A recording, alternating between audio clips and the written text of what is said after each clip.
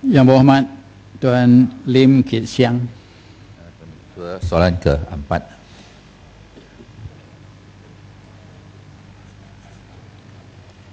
Tuan Ketua, saya mohon untuk menjawab soalan ini sekali dengan soalan yang berhormat Kuala Krai pada 18 Jun 2012 kerana ia menyentuh isu yang sama.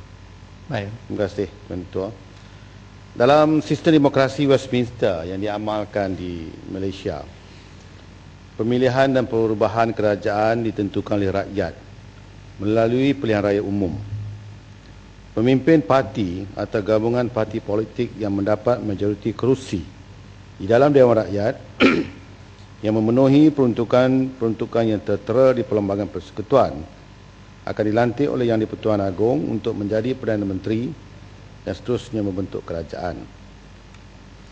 Perhimpunan, perhimpunan Haram Bersih 3 yang diadakan baru-baru ini adalah merupakan percubaan untuk menggulingkan kerajaan dengan menggunakan taktik yang seperti mana yang digunakan pakai di dataran Tahrir Mesir, di Green Square di Libya dan juga Mata Square di Tunisia. Dataran uh, Merdeka dipilih kerana ia Green Square di Libya. Saya ke Libya banyak kali. Ya. Bukan Times Square, Mata Square. Ya. Dataran Merdeka dipilih kerana ia mempunyai signifikan sejarah.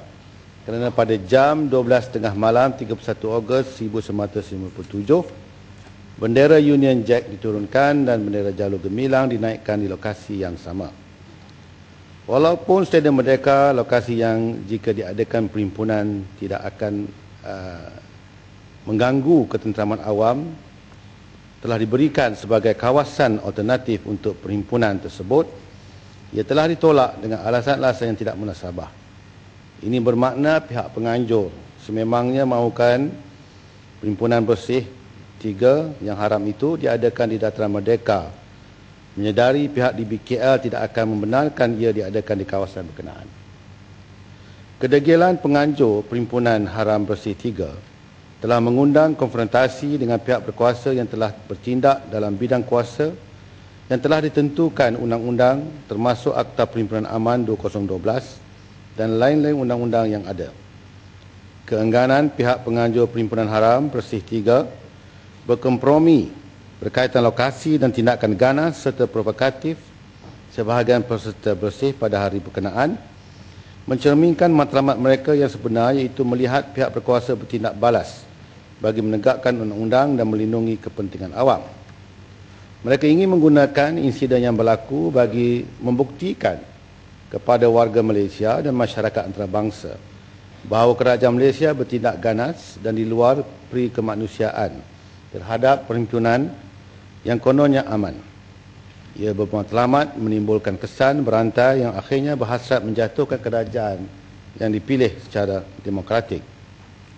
Kerajaan mengisafi aspirasi terhadap proses pilihan raya yang bebas dan adil adalah bersifat universal. Kerajaan amat komited bagi memastikan ia dicapai seperti mana dibuktikan dengan penumbuhan jawatankuasa terpilih parlimen dan pelaksanaan sebahagian besar show-show yang dicadangkan termasuk penggunaan dakwat kekal. Kerajaan Bahasa Nasional yang yang diketuai oleh Yang Amat Berhormat Perdana Menteri tidak akan sekali-kali menggunakan kaedah-kaedah yang tidak berperlembagaan dan menyalahi kedaulatan undang-undang untuk kekal berkuasa. Kerajaan Bahasa Nasional adalah kerajaan rakyat, dari rakyat, untuk rakyat.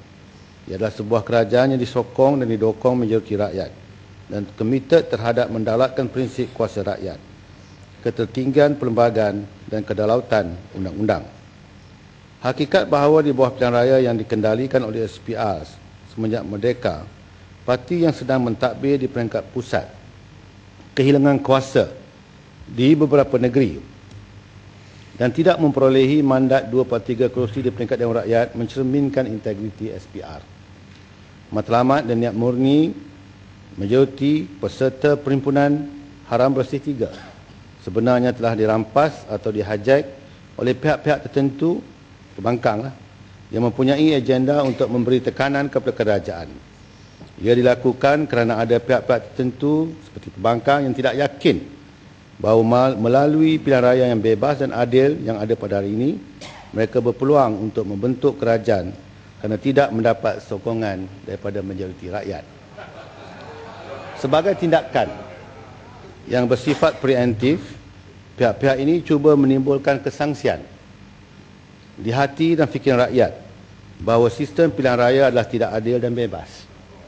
Jika mereka kalah di dalam pilihan raya yang diadakan kelak, maka mereka akan mendabik dada bahawa mereka telah dibuktikan benar.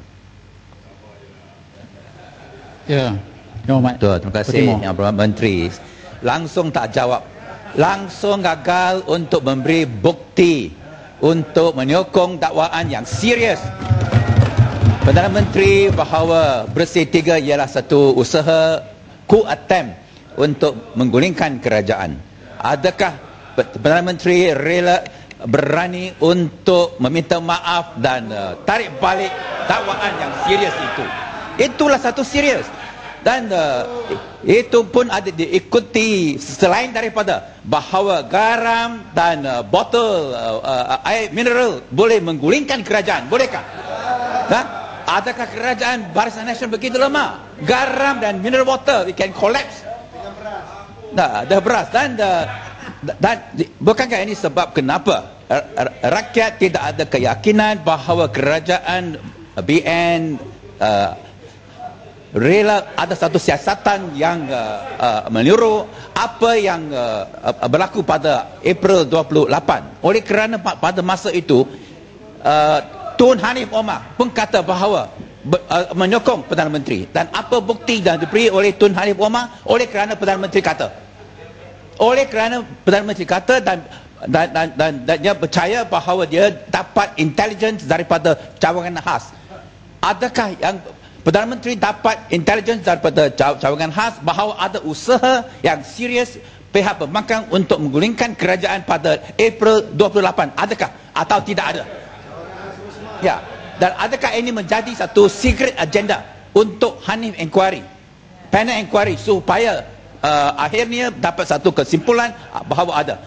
Kalau tidak kenapa? Kenapa uh, uh, uh, kerajaan Barisan Nasional tak rela untuk men- menghadapi realiti bahawa misjudgment, misjudgment, mishandling bersih tiga. Satu, malapetaka, public relation disaster lebih teruk daripada bersih dua. Dan sebab itu takutlah election. Delay after delay. Delay after delay. Itu. Dan buk, ha, bukankah lebih baik bahawa me- menghadapi menghadapi realiti ada satu siasatan yang uh, uh, uh, uh, yang uh, bersih yang be- be- betul-betul bersih berhenti demonization Tadi betul, semacam soalan tak ada lagi. hari. Soalan, Betul-betul soalan. satu Panjang demonization campaign Ni ceramah, terhadap ni bersih terhadap Pakatan Rakyat bahawa sokonglah sokonglah Suhakam Inquiry Soalan, soalan. adakah berani buat begitu Tadi betul.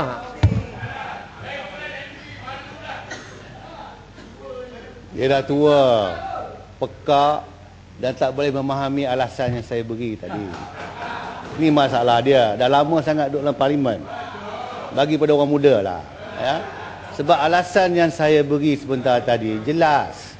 Iaitu percubaan untuk menjatuhkan kerajaan dengan cara yang tidak demokratik.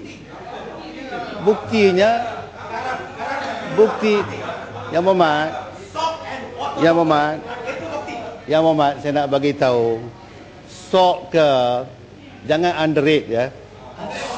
Jangan underrate salt or bottle. Ni kerajaan Sebab- osteoporosis. Sebab- sebab Kerajaan saya nak osteo- bagi tahu. osteoporosis ni. ya. Sebab saya nak bagi tahu kerajaan yang jatuh ya di Egypt, di Tunisia dan juga di apa ni uh, Libya hanya handphone saja jatuh. Handphone saja. Don't underrate ya. Bermakna iaitu bahawa kalau kerajaan itu tidak disokong oleh rakyat Inilah bukan saja igawan handphone, kerajaan tetapi Barisan juga Nasional. botol Igawan. pun Nak boleh tidur jatuh. pun tak boleh. Jangan underrate. Tidak ada kejatuhan dengan kata baling Air ah, apa garam, ni dengan bom dia takut. apa. Jatuh dengan handphone saja. Ya. Jadi jangan underrate. Ya jangan underrate iaitu bahawa uh, mengatakan iaitu apa dengan botol Memang betul. Kalau dengan botol, kalau ada rakyat tak sokong, dia boleh jatuh. Ah, boleh itu rakyat tak sokong.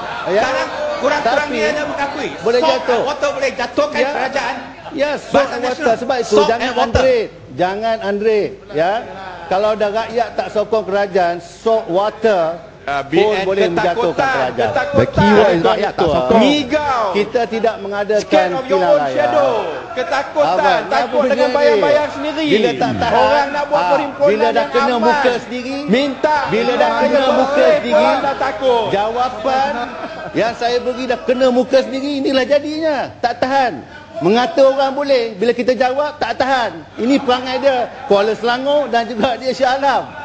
Jadi tuan Pasal tuan, tak jawab. saya Tak telah jawab. memberi jawapan. Tapi Kita sebenarnya bila bukti. apa sebut juga for bukti yang kita beri. proof? Menteri. Bukti yang kita proof? beri. Laporan Jelas menunjukkan ataupun iaitu bahawa. Ini orang gila. Ya, memang mereka nak menjatuhkan kerajaan dengan cara yang tidak demokratik. Untuk mendatangkan perasaan rakyat. Perasaan rakyat, menaikkan perasaan rakyat, bangunkan ramai, harapannya 100 ribu datang, kerajaan jatuh. Tapi tak jatuh. Itu masalah dia. Jadi nak bagi tahu bukti, saya dah bagi bukti dan kita memang tahu bangkang apa juga kita cakap dia takkan terima. Tapi rakyat akan apa me- memastikan dalam pilihan yang akan datang tentukanlah. Soal delay tak delay ada sebelah pihak sana yang mengatakan 5 years mean 5 years. Ah, 5 years mean 5 years. Tapi ni pula bercakap nak ada cepat. Yang mana satu memang berkecamuk di sebelah pembangkang sebelah sana. Terima kasih tuan-tuan.